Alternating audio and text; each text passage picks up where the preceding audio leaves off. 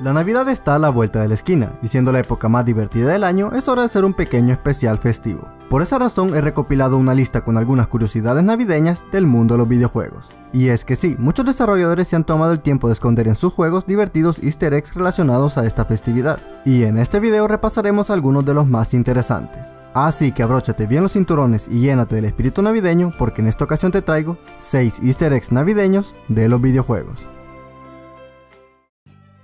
La serie de Animal Crossing es de mis favoritas, y es que la tranquilidad y diversión que logra transmitir es simplemente terapéutica. Y obviamente esta saga de juegos no podría quedarse sin su respectivo evento navideño. Por ejemplo, en Animal Crossing New Leaf para el 3DS, cuando el calendario marca el 24 de diciembre, se da una festividad conocida como el Día de los Juguetes, la cual está basada obviamente en la Navidad. Pues bien, en los días previos a este evento, los habitantes del pueblo nos irán dando pistas acerca del tipo de regalo que les gustaría recibir. Y créeme que estas pistas son muy importantes, ya que las utilizarás más adelante. Pero bueno, ya llegado el propio día, deberemos vestirnos con un conjunto navideño basado en Santa Claus. Una vez con nuestro traje de batalla listo, procedemos a hablar con Renato, un personaje que solo aparece en el juego durante este día. El curioso Reno nos dará un saco mágico que contiene diversos regalos para los habitantes del pueblo, Acto seguido, nuestra misión será entregar los diversos obsequios a sus respectivos dueños. Conviene mencionar que todo el pueblo estará decorado al más puro estilo navideño, con nieve por doquier y arbolitos con luces. Una vez completamos nuestra tarea, procedemos a hablar nuevamente con Renato, y este como recompensa nos dará una corona festiva. Y si logramos entregar todos los regalos a todos los habitantes, además recibiremos la apreciada foto de Renato. Sin duda alguna, una muy divertida forma de celebrar la Navidad. Ahora continuamos con un videojuego de la mítica compañía Sega. Lanzado en 1996 para la Sega Saturn, Nights into Dreams es un título que nos permitía desplazar a nuestros personajes mediante una mecánica de vuelo bastante divertida. La historia nos transporta a un mundo onírico donde convergen los sueños de todas las personas, y nuestro deber es detener al malvado Wiseman antes que se apodere de dicho reino.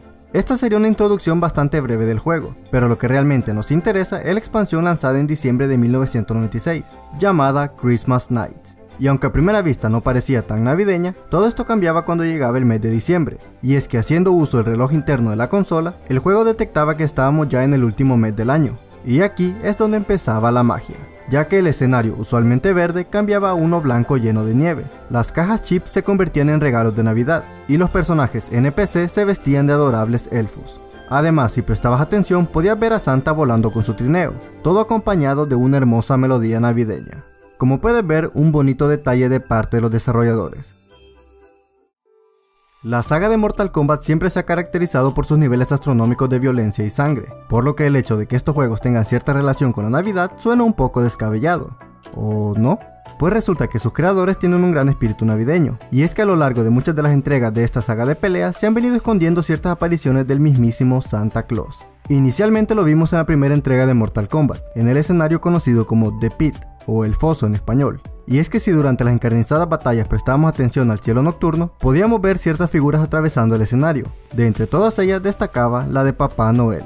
Este también hace una aparición en el Mortal Kombat Shaolin Monks, donde después de cierta escena con Reptile, veremos al bonochón rojo volando su trineo al fondo del escenario. Y finalmente en Mortal Kombat 11 en el modo de juego de la cripta, si observamos fijamente la luna, veremos a Santa Claus surcar los cielos a gran velocidad. Es curioso cómo en juegos para adultos como lo pueden ser los Mortal Kombat se esconden easter eggs tan inocentes y divertidos. Y volvemos a toparnos con un juego de Sega, hablamos específicamente de Shenmue. Lanzado en 1999 para la Dreamcast, este juego es de esas tremendas joyas que nunca envejecen, y es que combinaba un argumento increíble con un sistema de inmersión bastante potente para su época. Curiosamente, y a pesar de ser considerado un juegazo por la crítica en general, este es de esos extraños casos en que las ventas no acompañan la calidad de un videojuego. Pero bueno, este video trata de cosas navideñas, ¿no? Así que entremos en materia. Una de las cosas más llamativas de Shenmue era su sistema de inmersión sumamente realista, y es que cada misión dentro del juego tenía sus horarios que debías respetar. Incluso las tiendas no se escapaban de esta regla. Todo esto se lograba con un reloj y calendario interno que manejaba el propio juego. Y como te lo estarás imaginando, cuando llegaban las fiestas navideñas el ambiente se adecuaba de acuerdo a esta festividad. Y es que además de los adornos navideños y el clima nevado, también podíamos toparnos con un curioso personaje, nada menos que un señor vestido de Santa Claus promocionando negocios de la zona. Y lo divertido del asunto es que cuando hablábamos con él nos daba nuestra respectiva felicitación navideña.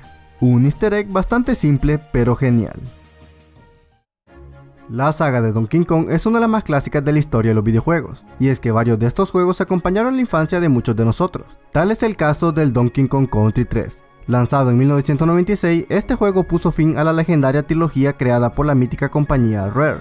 Pero bueno, dejando la nostalgia a un lado, resulta que este clásico de los 90 posee un bonito easter egg navideño, y es que en la pantalla de selección de archivo existía una opción para introducir códigos cheats. Para activarla solo teníamos que presionar el siguiente comando de botones, una vez hecho, se activaba la opción para introducir códigos. Acto seguido debíamos escribir la palabra Mary, y aquí es donde empieza lo divertido, ya que con este código los escenarios bonus recibían un pequeño cambio de imagen, y es que la música cambiaba una hermosa melodía navideña. Las estrellas que debíamos recolectar se transformaban en campanitas doradas, y las clásicas bananas se convertían en regalos navideños, poniendo un bonito ambiente navideño en este clásico de la Super Nintendo y la Game Boy Advance. La serie de peleas Clay Fighter es una de las más extrañas por así decirlo. Su curioso estilo visual es algo que definitivamente llamó la atención en su momento. Pero bueno, nos reunimos para hablar de cosas navideñas, ¿no? Así que vayamos al grano. En Clay Fighter 63 un tercio para el Nintendo 64, existe un divertido secreto navideño, y es que si en la pantalla de selección de personaje introducías la siguiente combinación de botones, desbloqueabas a Sumo Santa, el cual es una versión malévola de Papá Noel, este podrá ejecutar movimientos de ataque usando su ominosa panza, dejándolo como un divertido y un poco perturbador easter egg navideño. Ok, ya sé que el título dice 6 easter eggs, pero ya que es el último video del año y ya se acerca la Navidad, les dejo un último easter egg bonus. ¿Sabías que en algunas versiones de la FIFA, cuando el reloj interno de la consola detectaba que nos encontrábamos ya en Navidad, los comentaristas de los partidos nos daban nuestra respectiva felicitación navideña? A continuación te dejo algunos ejemplos. Bienvenidos en este día. Nos alegra poder desearles a todos ustedes una feliz Navidad. Hoy les vamos a acompañar como siempre desde la...